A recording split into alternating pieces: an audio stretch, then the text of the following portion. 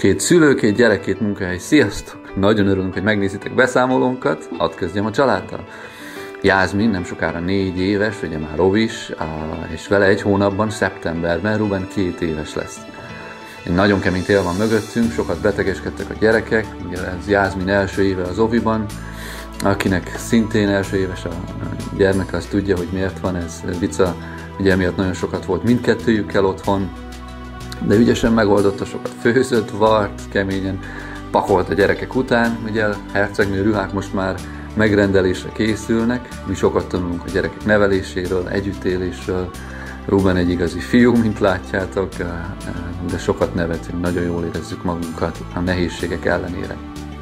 Pár hónappal ezelőtt az iskola diákjai egy óriási meglepetéssel szolgáltak nekünk, elküldtek minket egy pár napra, hogy megünnepeljük a hetedik házassági évfordulónkat, vigyáztak a gyerekekre, kifizették az utunkat. Most is még egyszer nagyon köszönjük nektek, nagyon hálásak vagyunk nekik. Szolgálatom a gyülekezetben, lelkipásztor vagyok, Vica a zenélést vezeti, fontos szolgálat mindkettő, ugye tanítás, prédikálás, mentorolás, lelki beszélgetések, felkészítések, bemerítkezés a tagságra, a gyülekezet nek irányt mutatni egy nagyon fontos szolgálat. Ez pedig már az idősek otthona, ahova havi rendszerességgel járunk, visszük Krisztus evangéliumát, és sokat játszunk, énekelünk velük, nagyon jól érezzük velük is magunkat, jó látni a felviduló arcokat.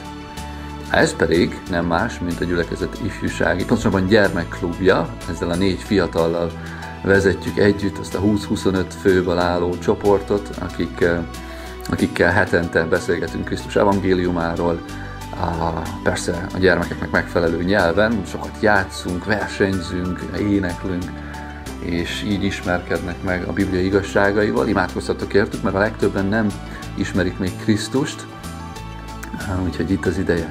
Végül pedig hadd beszéljek életszavás szolgálatomról, ahol tolmács vagyok, és sok-sok órát egy héten fordítok a különböző tanároknak. Én magam rengeteget tanulok, kemény munka, de megéri. Nem csak órákon, hanem mint ezeken az utolsó képeken láthatjátok a konferenciákon is. Úgyhogy az én arcomat látjátok, ha élő közvetítést láttok mindig, hát ezzel együtt kell élni, ez a munkám. Nagyon köszönöm, hogy megnéztétek beszámolunkat, Isten áldjon benneteket!